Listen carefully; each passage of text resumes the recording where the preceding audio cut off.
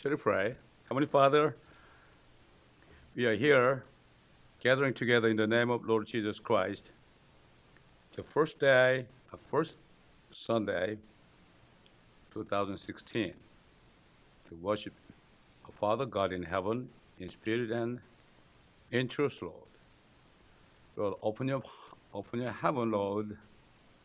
Please send us the wisdom and understanding. And also spirit of love and spirit of power and spirit of sound mind unto us, so that we may be able to be sound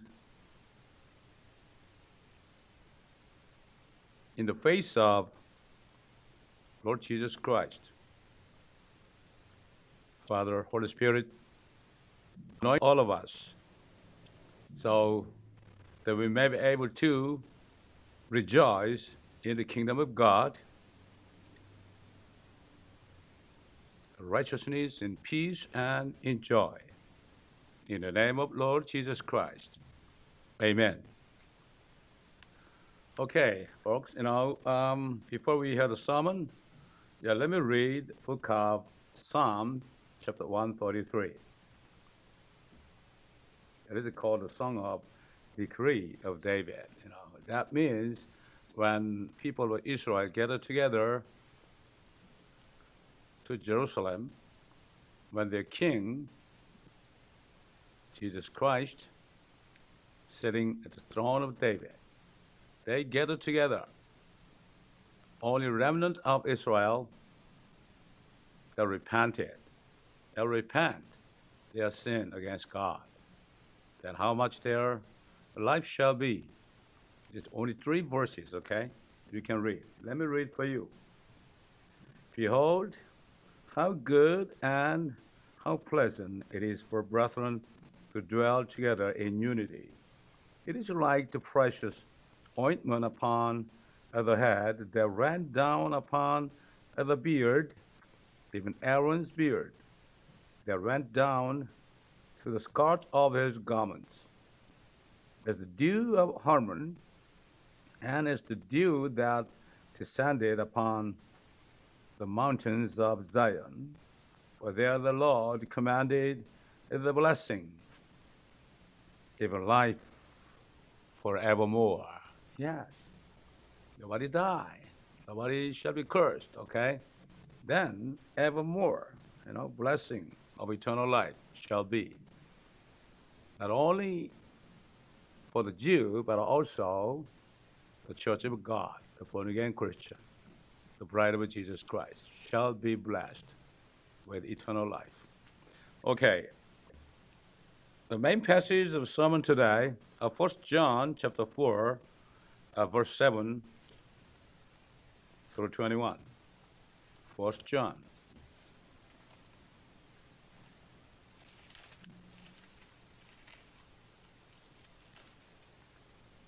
Yeah, let me read it for you. Beloved, let us love one another, for love is of God. And everyone that loves is born of God and knows God. He that loves not knows not God, for God is love. In this was manifested the love of God toward us, because the God sent his only begotten Son into the world that we might live through him. Herein is love, not that we loved God, but that He loved us and sent His Son to be the propitiation for our sins. Beloved, if God so loved us, we ought also to love one another.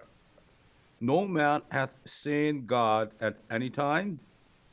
If we love one another, God dwelleth in us, and his love is perfected in us hereby know we that dwell in him, and he in us, because he hath given us of his Spirit. And we have seen and to testify that the Father sent the Son to be the Savior of the world. Whosoever shall confess that Jesus is the Son of God, God dwelleth in him, and he in God. And we have known and beloved, believed the love that God has to us. God is love, and he that dwelleth in love dwelleth in God, and God in him. Herein is our love made perfect, that we may have boldness in the day of judgment, because as he is, so are we in this world. And there is no fear in love. A perfect love casts out fear, because fear has torment. He that feareth is not made perfect in love. We love him because he first loved us. If a man say, I love God, and hated his brother, he is a liar. For he that loveth not his brother, whom he hath seen, how can he love God, whom he hath not seen? And this commandment hath we from him, that he who loved God love his brother also. Yeah, Apostle John, okay, is talking about the fruits of the true children who are born of God. Yeah, John was especially beloved by Jesus, and he even called himself as the beloved disciple. He testified of the children of God born of him that believes in the Lord Jesus Christ and received him. He came unto his own, and his own received him not. But as many as received him, to them gave he power to become the sons of God, even to them that believe on his name, which were born not of blood, nor of the will of the flesh, nor of the will of man, but of God. Yes, born again Christian is born of God. That's why, you know, they can call, we can call God as a father, Abba, Abba. What a wonderful blessing it is, right? Yeah, in the main passage, he testifies of the true children of God who are born of God. He testifies of fruit of them. He also testifies of them that are not the true children of God very clearly. We have to watch, you know, two kinds of Christian. Real Christian, true Christian and Christian. Okay? Behold, let us love one another, for love is of God, and everyone that loves is born of God and knoweth God. He that loves not knows not God, for God is love. In these words manifested the love of God toward us, because the God sent his only begotten Son into the world that we might live through him.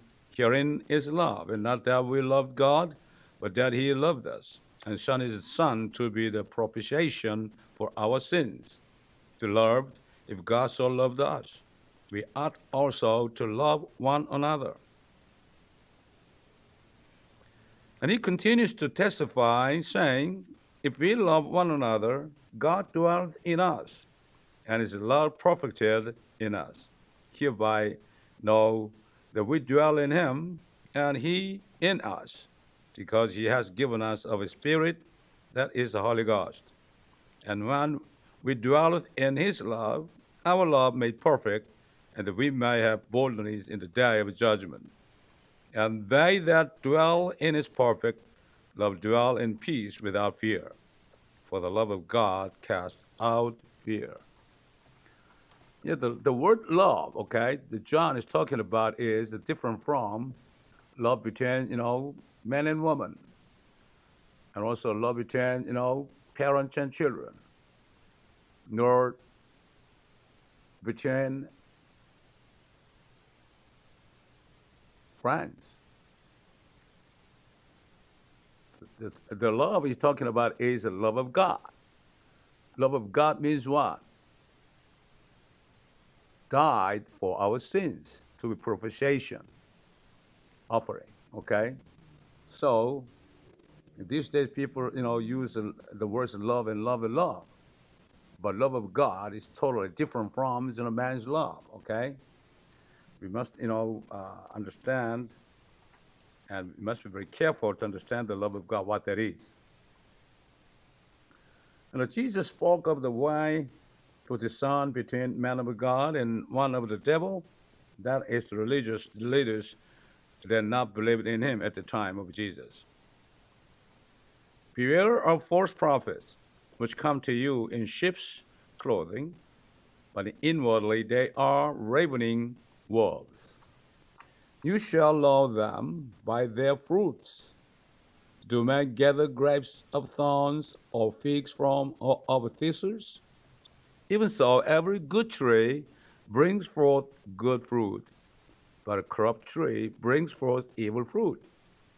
A good tree cannot bring forth evil fruit, neither can a corrupt tree bring forth good fruit. Every tree that brings not forth good fruit is hewed down and cast into the fire. Wherefore, by their fruits you shall know them. Yeah, Apostle John wrote the letter unto the Galatians to testify of the fruits of them born of God, as well as them that are not born of God. You know, that means between the fruits, you know, uh, of difference between uh, born again Christian and the carnal Christian. And now the works of the flesh are manifest, which are these adultery, fornication, uncleanness, lasciviousness, idolatry, witchcraft, hatred, variance, emulations, wrath, strife, seditions, heresies, envyings, murders, drunkenness, revilings, such like, of the which I tell you before, as I have also told you in time past, that they which do such things shall not inherit the kingdom of God. They cannot go to heaven. But the fruit of the Spirit is love, joy, peace, long suffering, gentleness, goodness, faith, meekness, temperance. Against such there is no law. And they that are Christ have crucified the flesh with affection. And he testified of them of the charity. The charity is love of God. Different words, okay? Charity is love of God, and also of them without it. Though I speak with the tongues of men and of angels, and have not charity, I am become a sounding brass or tinkling cymbal. And though I have the gift of prophecy and understand all mysteries and all knowledge, and though I have all faith, so that I could remove mountain, and have not charity, I am nothing.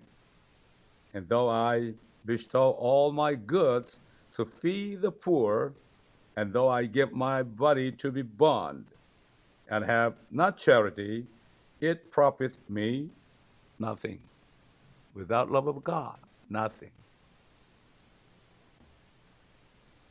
In other words, man is able to show himself as a faithful son of God before the eyes of man, even though he is not born of God, to be the true son of God. But if no love of God in him, in other words, no spirit of God, that is Holy Spirit, dwells in him, it profits nothing. He has testified of the things that are the hypocritical behaviors to show all kinds of false love. He continued to testify of the fruits of them that have the love of God. Charity, that means love of God, right? Charity suffers long and is kind.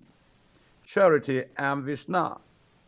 Charity vaunteth not itself, is not puffed up, does not behave itself unseemly, seeketh not her own, is not easily provoked.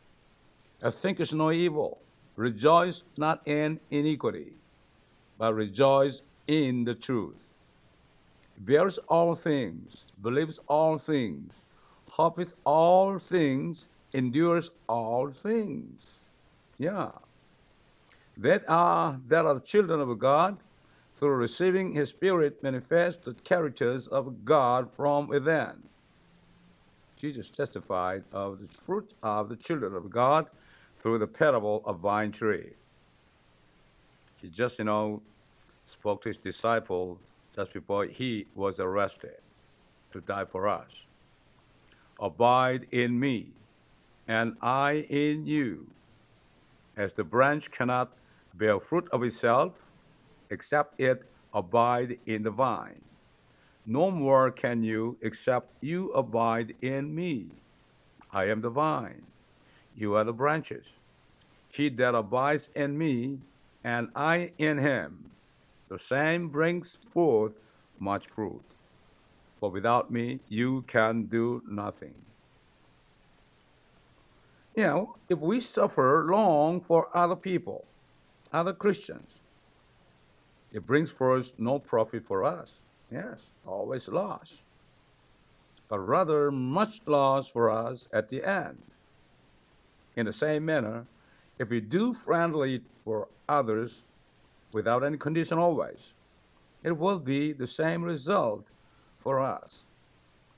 If we believe all things, bearing all things, we could be taken advantage by others. You know, other people make a use of it, right? to take their benefit. And if we seek not our own, much loss could come back to us. For the last thousand years, the Lord God has been suffered long for the people of Israel and the children of God, and also for the Gentiles. He has been friendly for them always. Pastor John testified, God so loved the world God is still suffering long, believing, and waiting for them to believe in Him someday in the future. God is still waiting for the sinners believing them to repent. And He seems to be taken advantage by them in the world. God has been taken advantage by us when we have been sinning, not caring of God. The sinners like us have been blessed to be saved because God has been suffered long for us, delivering us to the end. At this moment, in the time receiving a new year, we'd better examine ourselves once again. How the love of God within us has been manifested. How long have we suffered for others? around us, praying for them to believe in God. How have we been suffered long for the brothers and sisters with us that consist of the body of Christ, this church? And whether we are still suffering long for them that left this church, listening the voice of the Holy Ghost in this moment. Let this time be the blessing through true repentance in the first time of worship in the new year. Apostle Peter testified of God that having suffered long, believing the wicked world to repent, coming back to him. But beloved, be not ignorant of this one thing, that one day is with the Lord as a thousand years, and a thousand years as one day. The Lord is not slack concerning his promise, some men count slackness, but is long suffering to us word, not willing that any should perish, but that all should come to repentance. Yes. God has been, Jesus Christ has been suffering long enough for 2,000 years already after he died on the cross. He just, you know, consider 2,000 years as two days. What a wonderful love of God. Who- Whosoever has the Holy Spirit within, this kind of character manifested. He's a man of God. Okay? Yeah. If the love of God is within us, we have to pray for the fullness of it. Apostle Paul encourages the saints of Ephesians. Wherefore, he said, Awake thou that sleepest, and arise from the dead, and Christ shall give thee light. And be not drunk with wine, wherein is excess, but be filled with the Spirit. Even though you're born again of the Holy Spirit, we have to pray for the fullness of the Holy Spirit. It is a command.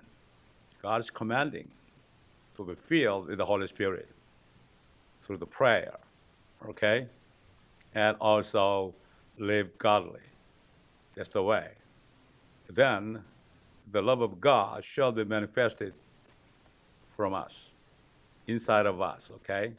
Then also yeah, we can, as Jesus, as God, we can long suffering for others. We can bear all things, believe all things, hopes all things, endures all things because of Lord Jesus Christ. Even though somebody else, you know, want to take advantage from us, giving us a loss, taking benefit from them is fine. Obeying the love of God. The love of God will keep us in His love, as Jesus has done in the world. He did that, right? He long suffered. He believed. He bared. You know. He hoped, endured all things for us. Even myself, you know, God has been long suffering 20 years. You know, since I went to college, I left the church, but God still believed in me. He in me. He never forsake the hope in me. That's right. That's why we have to do the same thing. But then that's the way, you know, the people come to the love of God. The seeing the fruits that bear by us, born by us. It is a real Christian. I bless all of you to be real, true children of God, born of God. He's calling the God in heaven as our Father. Heavenly Father, thank you giving us the precious message today in the first week of the new year, Lord. Engrave all this message unto us so we may be able to follow Jesus Christ, denying ourselves, taking our cross. The way to take a cross is to bear all kind of things for others, Lord, and to have real joy in the Lord. In the name of Lord Jesus Christ, amen.